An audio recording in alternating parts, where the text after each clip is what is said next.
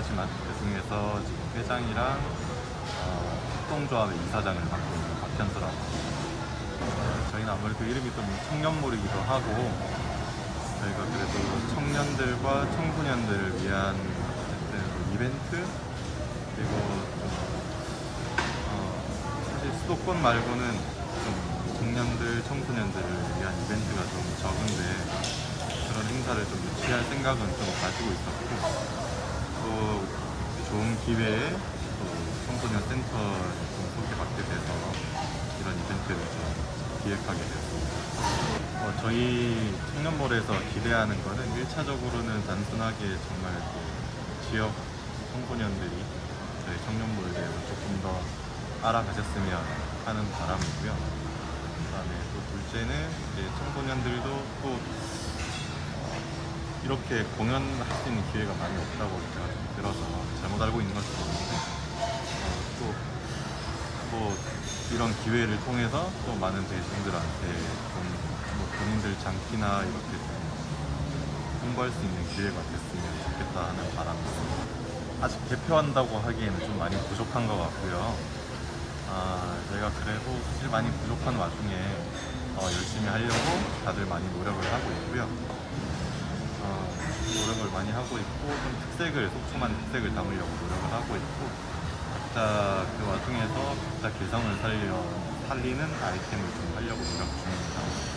그렇고 어, 좀 앞으로는 저희가 지금까지는 사실 각자 개인 매장 사업만 생각을 하고 장사만 생각을 하고 있었는데 좀 주변 환경이나 이제 뭐 주변 청년들 또 청소년들에까지 좀 어, 영향력을 끼치고 같이 우리 상생할 수 있게끔 하는 게 앞으로의 좀 발전 방향 그리고 비전이라고 말씀드리겠습니다. 부터 박수 소리가 작아서 굉장히 당황스럽네요. 다시 인사드리겠습니다. 전호준입니다. 반갑습니다. 건강한 성인으로 성장할 수 있도록 지역장을 연계해서 함께하고 계시는데 아 우리 청소년들의 마음이 다치지 않게끔 누구보다 애써주고 있는 분들이라고 말씀드리고 싶습니다. 혹시라도 주변에 마음이 아프고 복지가 필요한 청소년들을 본다면 1388로 전화해서 우리 청소년들 우리 미래의 주역들을 지켜주시길 부탁드리겠습니다. 속초시의 자랑, 아, 속초시의 아이돌 이 자리를 빛내줄 속, 속초여자고등학교 댄스 동아리 글리 무대 시작하도록 하겠습니다. 여러분 박수로 환영해 주시죠.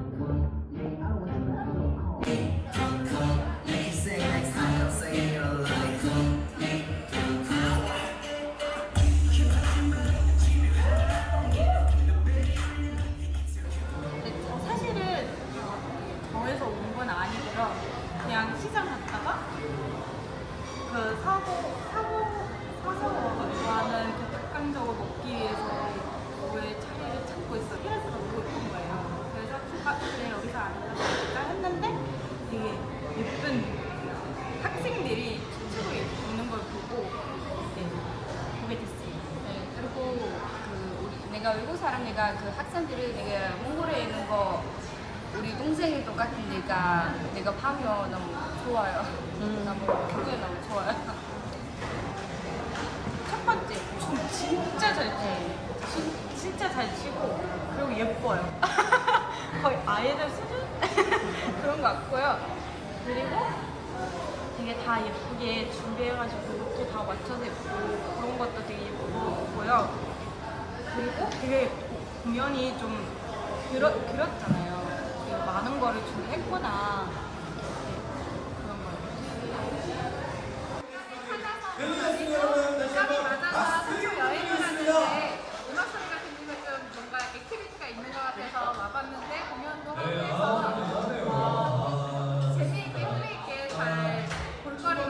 더 좋은 여행이 될 것 같아요. 네, 저는 솔직히 청소년 공연이라고 생각을 안 하고 그냥 성인 아마추어 팀으로 알고 왔는데 생각보다 춤을 잘 추고 분위기도 더 이제 텐션 업을 시켜줘서 더 예, 여행지의 기분을 더 돋궈줄 수 있는 네, 좋은 공연인 것 같습니다.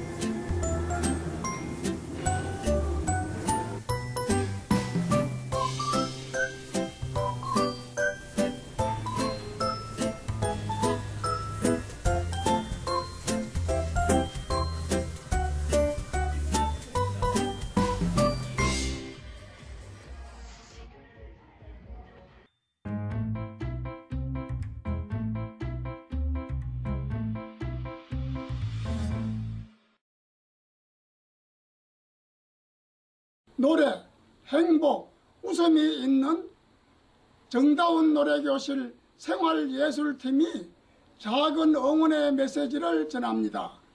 춘천 시민 여러분 건강하시고 행복하세요. 사랑합니다. 나는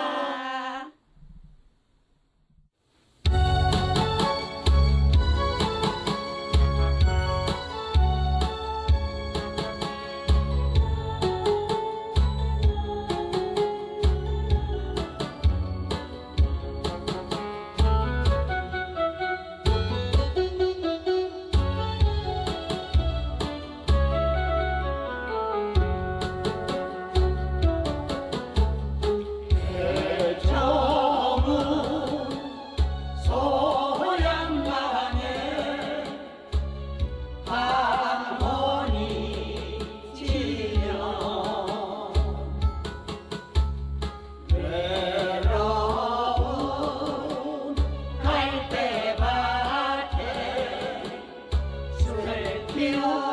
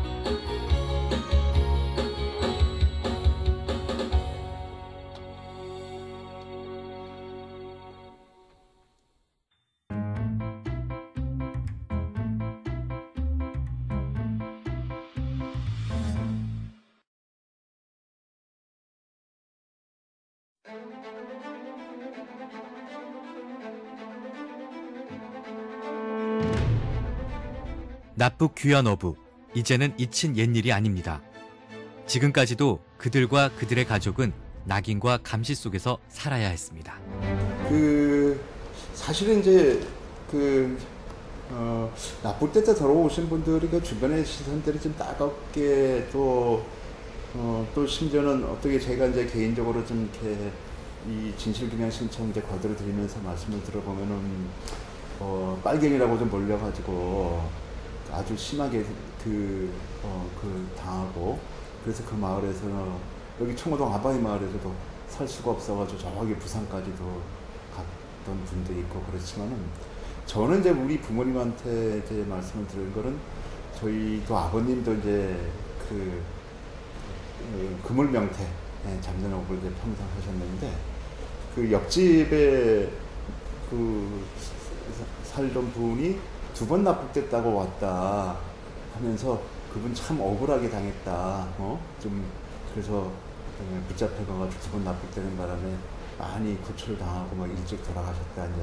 그런 이야기도 들었고 우리 또 친구들 같은 경우도 그 어, 저기 80년대 그러니까 중학교 뭐그 무렵에 이제 그 가족이 형이 이제 납북됐다가 이제 돌아오고 그러는데 그 나중에 어디 부- 어, 어디 기관에 끌려가가지고 뭐 한 일주일 동안 예, 예그뭐 조사 받고 나와가지고는 이제 몸이 다 망가진 게 길거리에서 팽개쳤다는 그런 이야기도 저희는 또 친구들한테 듣고 대학교 들어갈 때 이게 보면은 뭐 육사 지원을 저희도 많이 했죠. 그래서 그런 기관들 들어가는데 그 연자제 때문에 예, 그 가지 못했다는 이야기들 그런 이야기들을 좀 이렇게 계속 좀 들어와서 아 이 지역에서 참 그 억울하게 아니 고기 잡는 이야기들은 저희 아버님도 얘기를 들었는데 바다에 나가는데 콤파스 하나만 가지고 단단 가서 사실 바다에다가 이렇게 선을 그어놓은 게 아니잖아요. 그래서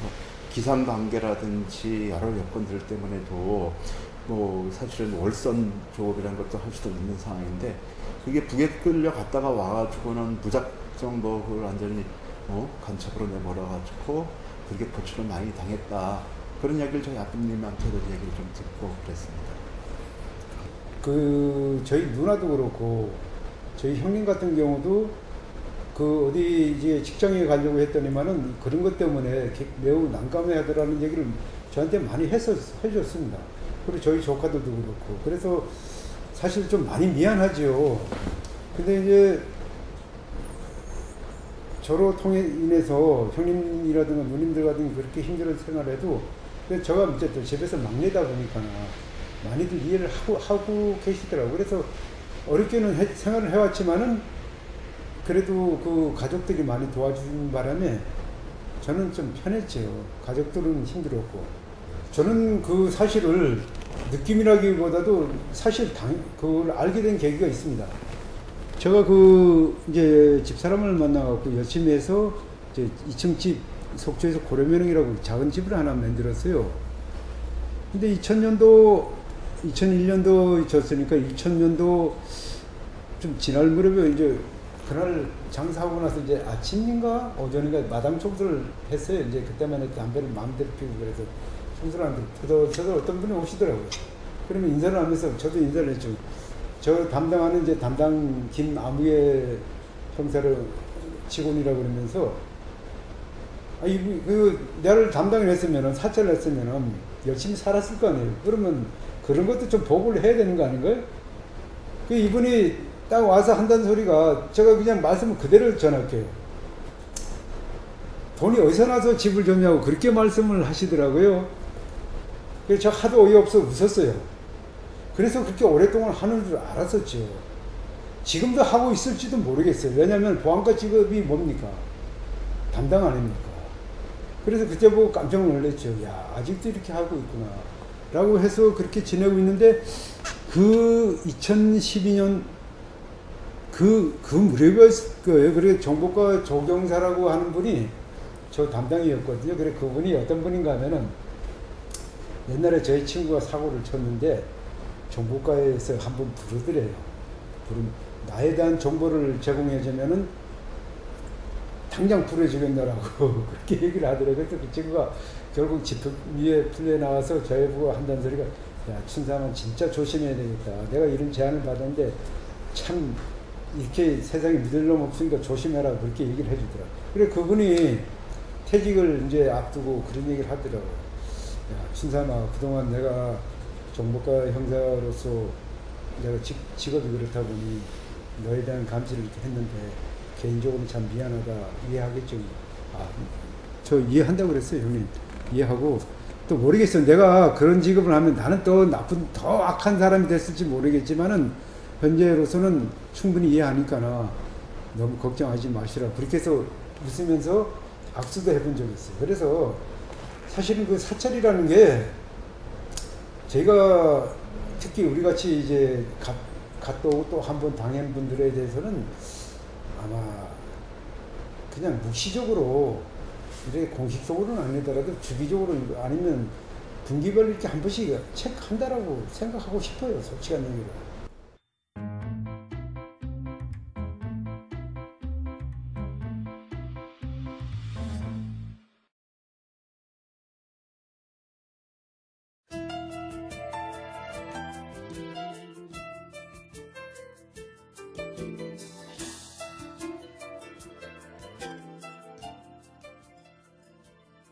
지금은 탄광문화공원, 관광지로 더 유명한 정성군 사북의 동원 탄좌. 하지만 이곳의 1980년 봄은 너무나도 잔인한 계절이었습니다. 1980년 4월 동원탄자 사북광업소 광부들은 부당한 노동 착취에 대해 개선을 요구했습니다. 낮은 임금과 열악한 근로환경, 이를 방관하는 어용 노조와 노조 지부장 부정 선거가 불만이었습니다. 그러나 이 문제를 함께 해결하자고 말했던 노조 지부장과 경찰은 약속을 지키지 않았고 광부들이 다시 항의하는 과정에서 이른바 지푸차 사건이 발생했습니다. 사복 경찰관이 노조에 항의하는 광부들을 사찰하다 발각되자 경찰 지프로 광부들을 치고 달아난 겁니다. 사건의 시작은 단순한 노동쟁이였습니다. 석탄가루 자욱한 막장에서 변변한 보호 장구도 없이 목숨 걸고 석탄을 캐도 한 달 월급은 15만 원 정도. 게다가 노조는 오히려 회사 편만 드는 어영 노조였죠. 결국 동원탄자 사북광업소 광부들은 회사 측을 상대로 낮은 임금과 열악한 노동 환경 개선 등을 직접 요구하고 나섰는데요. 사북 일대를 점거하고 사흘 동안 농성을 하며 회사와 협상을 이어갔습니다. 사측과 합의가 이루어지면서 사흘간의 농성이 마무리되어 가던 바로 그때 일명 찌푸차 사건이 발생합니다.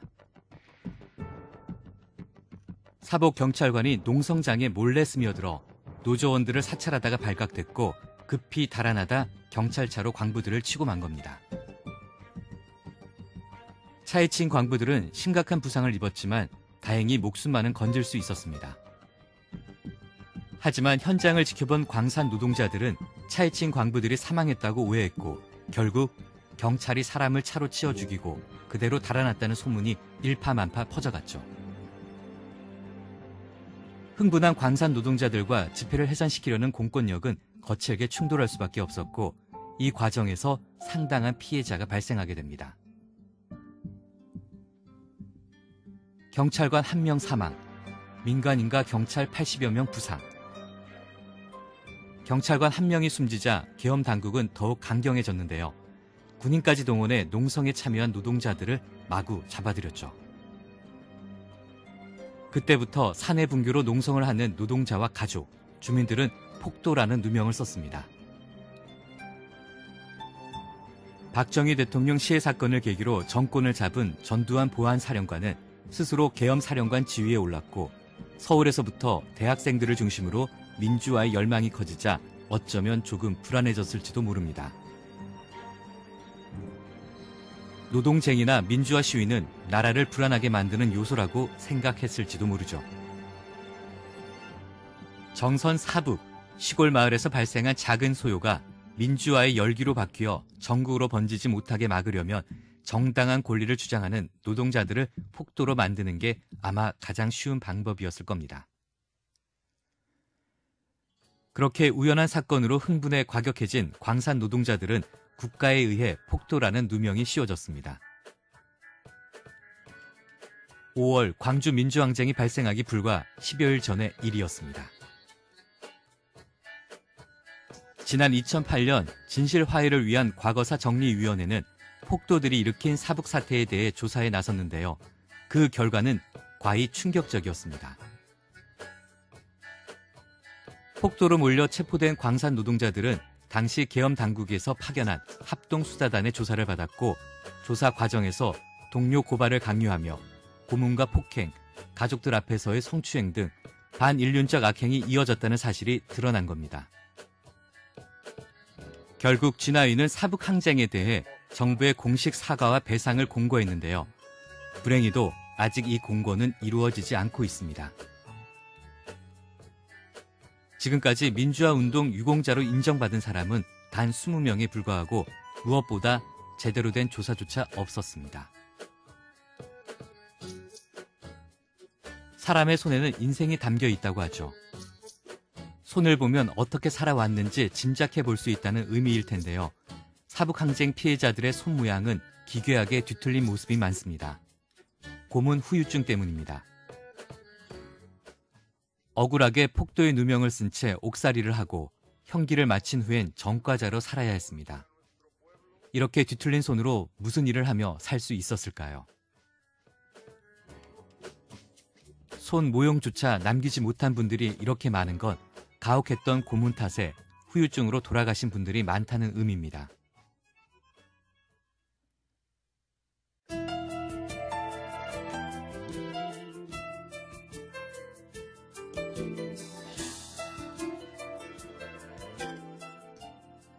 사북 항쟁이 발생한 지 벌써 40여 년. 국가가 씌운 폭도라는 누명에 짓눌려 평생을 전과자로 낙인 찍혀 살아야 했던 피해자들은 아직도 가난을 되물림하며 고통스럽게 생활하고 있습니다.